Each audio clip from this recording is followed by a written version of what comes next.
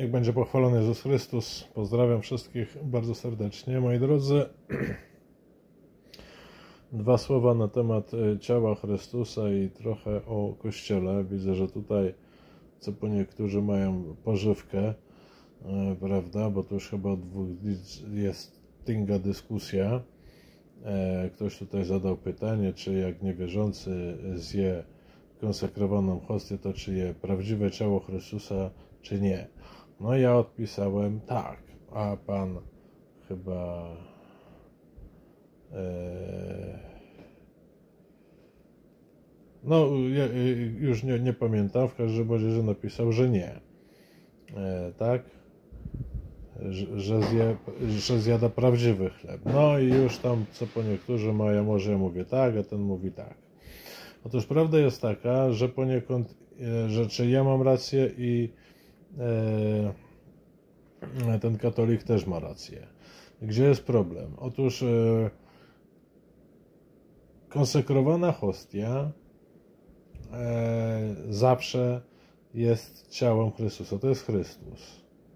Tak, jam jest chleb, który z nieba wstępuje. Konsekrowana hostia jest realnie ciałem Chrystusa z krwią, duszą i bóstwem, tak?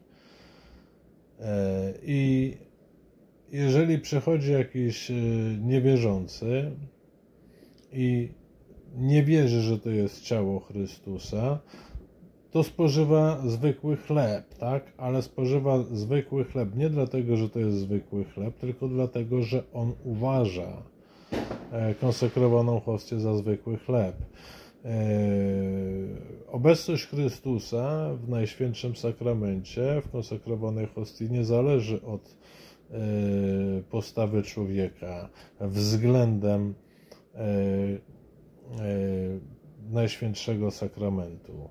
Chrystus jest obecny, niezależnie od tego, czy człowiek w to wierzy, czy nie wierzy, czy jest obojętny, czy ma wątpliwości. Nie, Chrystus jest.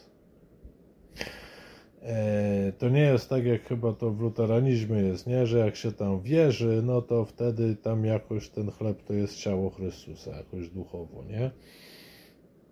A jak się nie wierzy, to nie jest. No to, to, to jest właśnie e, magia, bo jest, nie jest, bo nie jest, ale jest. E, prawda? Nie, po wypowiedzeniu słów konsekracji to jest ciało moje, które za was będzie wydane.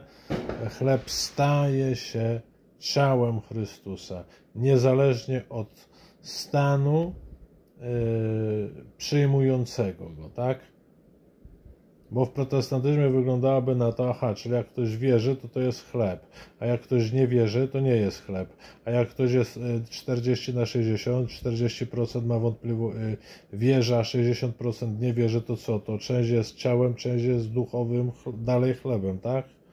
No właśnie, to są takie dyrdymały. E, prawda, które są podporządkowane właśnie człowiekowi. Bóg działa, tak, o, wierzysz, to to może być chleb, nie wierzysz, to to nie jest chleb, tak? Nie. Bóg jest większy od naszej wiary czy niewiary. Bóg jest większy od naszych, e, od, naszego, od naszych wewnętrznych predyspozycji.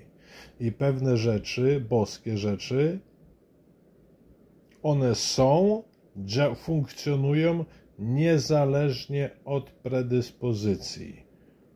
Rozgrze y, spowiedź święta jest spowiedzią świętą, jedna nas z Bogiem, tak? Jeżeli ktoś e, przystępuje do spowiedzi świętokradzko, czyli tak nie ma żalu za grzechy, nie ma, e, prawda, woli nawrócenia albo kantuje księdza, kłamie, to uwaga. Spowiedź święta jest święta sama w sobie.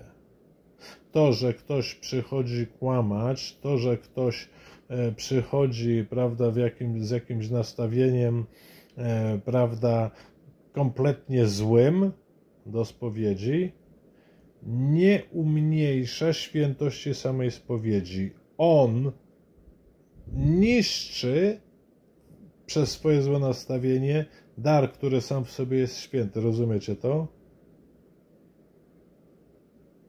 poganin może przyjść, e, przyjąć ciało Chrystusa, wierząc, że to jest chlebek, ale to jest ciało Chrystusa. E, nawet taki lewak, który przystępuje do spowiedzi, otrzymuje rozgrzeszenie, ale świętokradzkie, bo załóżmy zataja grzechy, kłamie, to krew Chrystusa spływa na niego. Tylko, że jak pisze list do Hebrajczyków, tak? Depcz, bezcześci krew Chrystu, przymierza, przez którą został uświęcony. Ona spływa. Tylko, że e, człowiek ją bezcześci.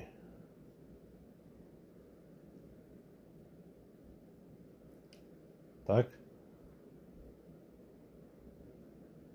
Chrystus jest obecny w Najświętszym Sakramencie, ale święty Paweł pisze, że wielu pośród was jest chorych, umarłych, słabych. I co, to, to jak ktoś jest umarły, czyli na duchu, to co, to tam nie ma Najświętszego Ciała Chrystusowego? Jest. No to tak jest, że a jest chory. No to nie jest, jest chory nie dlatego, że tam nie ma ciała Chrystusa, tylko jest chory dlatego, że jest e, niegodny. Tak? Więc, żeby było jasne, spowiedź święta działa. Krew Chrystusa spływa na duszę w momencie rozgrzeszenia, w momencie konsekracji. Chleb staje się ciałem Chrystusa, tak? I to nie zależy, tak? Od wewnętrznego nastawienia. To, co, a więc co niepotrzebne jest wewnętrzne nastawienie, owszem, jest potrzebne, aby przyjęcie tych świętych sakramentów Eucharystii spowiedzi świętej było owocne, było ku zbawieniu, a nie, że przez nasz brak wiary, wewnętrznych predyspozycji, to co jest święte ku zbawieniu, my możemy zbezcześcić. A więc jeszcze raz, jeżeli ja podchodzę fałszywie do spowiedzi świętej, to ja nie uwłaczam spowiedzi świętej jako sakramentowi, bo ona będzie święta, ona będzie jednać z Bogiem. To ja nawalam to, co święte, bezczeszczę. Tak? Krew Chrystusa spływa, ale to jest moje świętokradztwo i ja za to odpowiem. To nie jest tak, że o yy, przychodzi niewierzący do Eucharystii, i Chrystus widzi, o ten nie wierzy, to następuje coś, co bym tak nazwijmy to retrus, retrosubstancjacją, tak? Czyli jest transsubstancjacja, chleb staje się ciałem Chrystusa, Chrystus w Najświętszym Sakramencie, tak? W hostii, o widzi, o ten nie wierzy, to się ucieka i w tym momencie ksiądz mu faktycznie daje już nie ciało Chrystusa, tylko zwykły opłatek, bo Chrystus się po prostu wycofuje i, i, i w tym momencie ksiądz daje opłatek i tak Chrystus czuje, o ten wierzy, ten nie wierzy, to temu się da, bo wierzy, a temu się nie ma, to, to ucieknę i ksiądz mu da opłatek. To tak nie działa. To jest ciało Chrystusa, to jest Chrystus. Spowiedź święta jest sakramentem, przez który dostępujemy oczyszczenia krwią Chrystusa. To, że źle przystępujemy, nie świadczy o tym, że sakrament spowiedzi nie jest oczyszczający i zbawczy i jednający nas z Bogiem. To, że źle przystępujemy e, i uczestniczymy w Eucharystii, to nie znaczy, że Eucharystia jest e, nie działa, to nie znaczy, że nie ma Chrystusa, to nie znaczy, że Eucharystia nie jest ku zbawieniu. Ona jest ku zbawieniu, i będzie ku zbawieniu, niezależnie od tego, czy ja e, będę w to wierzył, czy nie, bo ja mogę się potępić, Eucharystia dalej będzie ku zbawieniu.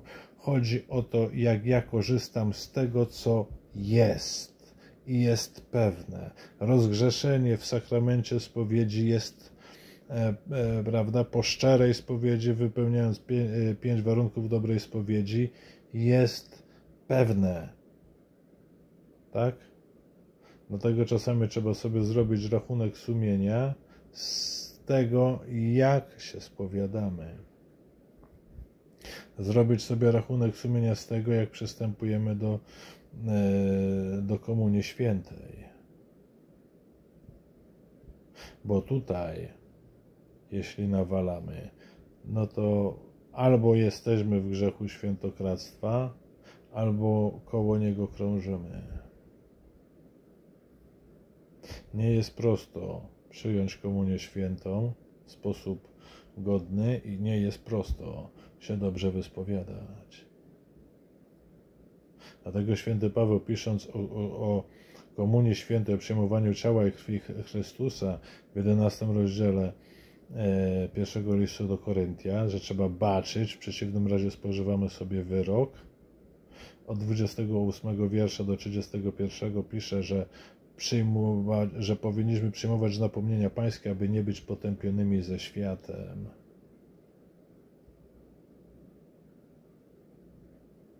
Tak. Można przyjmować komunię świętą i być potępiony ze światem. Tak samo jak można się spowiadać i skończyć w piekle. Chrystus dał felerne sakramenty? Nie. One są pewną pewnością. Problem jest po naszej stronie. One działają. Tylko, że jeżeli my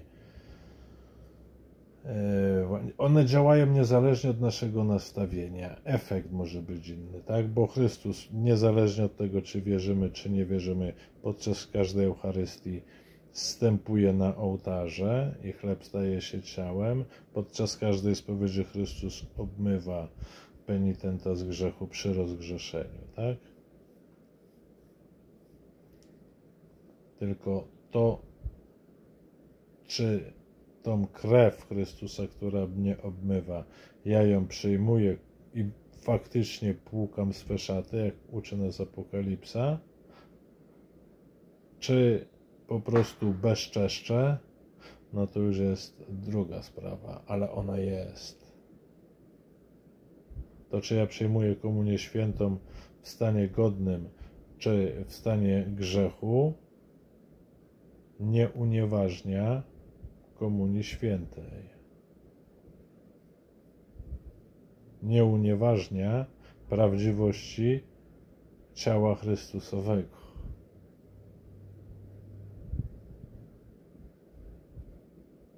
A więc poganin, jak spożywa e, konsekrowaną hostię, tak, spożywa najświętsze ciało Chrystusa, spożywa Syna Człowieczego, kto mnie spożywa, tak? tylko nie wierząc w to, no, spożywa to jako zwykły chleb. Ale to, że on nie wierzy i myśli, że to jest zwykły chleb, nie czyni z Chrystusa w Najświętszym Sakramencie zwykłego chleba. Bo to dalej jest chleb. Ciało Chrystusa. A nie zwykły chleb. Tak samo przy rozgrzeszeniu Chrystus mnie rozgrzesza przez posługę kapłana in persona Christi. Tak? I to jest niezmienne. Tylko ja nawalam. Ale to, że ja nawalam, nie unieważnia e, prawda sakramentu spowiedzi. O, spowiedź jest nieważna, czyli spowiedź jest nic nie warta. Nie, ona ma wartość, tylko ja ją deptam. Bóg nie dał nam rzeczy bezwartościowych, Bóg nie dał nam rzeczy, które zależą od naszej wiary, niewiary, od naszej widzimisię. Bóg nam dał rzeczy, w których On, odwieczny Bóg, działa w sposób pewny bardziej stuprocentowy niż nam się wydaje. Bo na sakramentach możemy się w pełni oprzeć. one są pewne. Tylko żeby przyniosły skutek zbawczy, to my musimy włożyć w to swój wkład.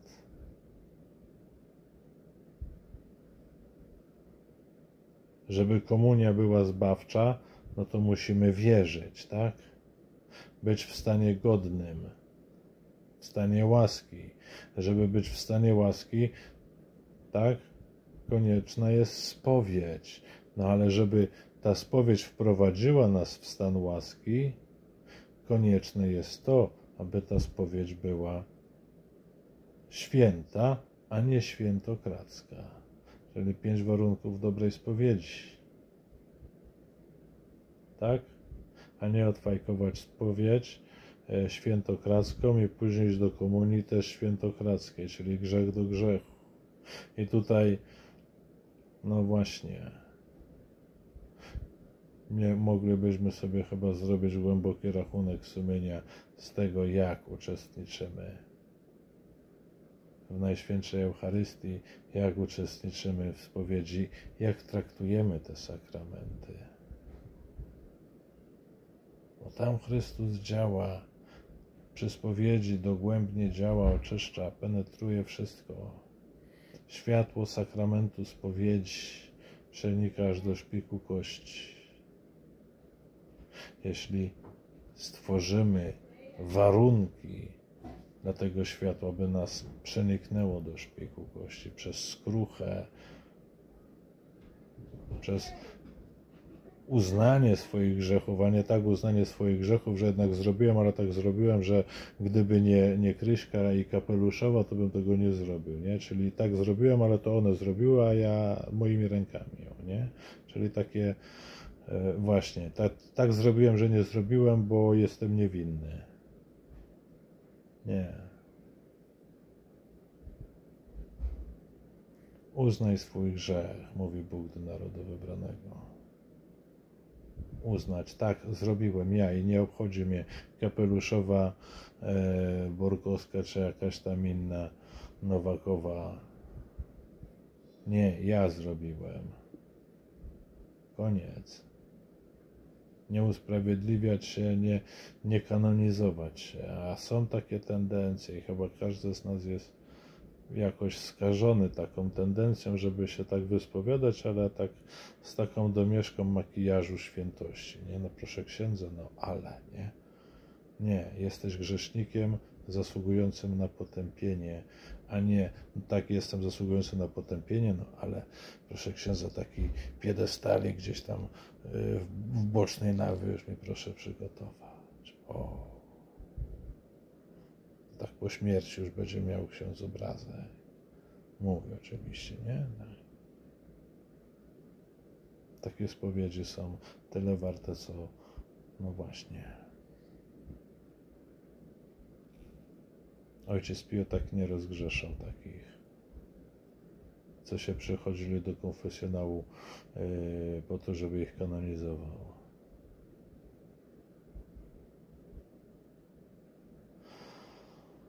Mamy święte rzeczy, pewne, boskie,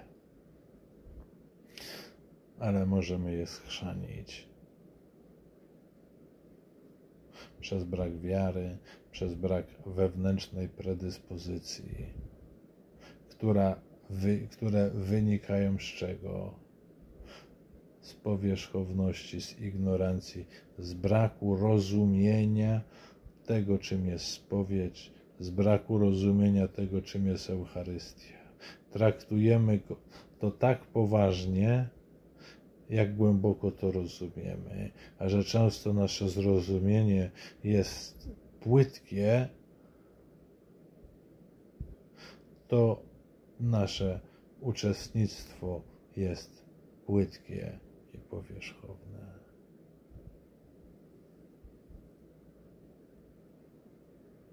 Ja no byłem, no, no, no i co? O czym było czytanie niedziela? Bo nie, nie pamiętam. O czym było kazanie? No ładnie ksiądz mówił. O czym? No Panu Bogu. O. Wszyscy w mniejszym lub większym stopniu jesteśmy tym skażeni. Dlatego póki żyjemy, możemy właśnie się z tych skażeń oczyszczać. Możemy jeszcze wchodzić głębiej w to, co Bóg nam przygotował właśnie przez, te, przez sakramenty. To, co się kryje w sakramentach, czyli sam Bóg z różnorakimi formami działania w zależności od sakramentu.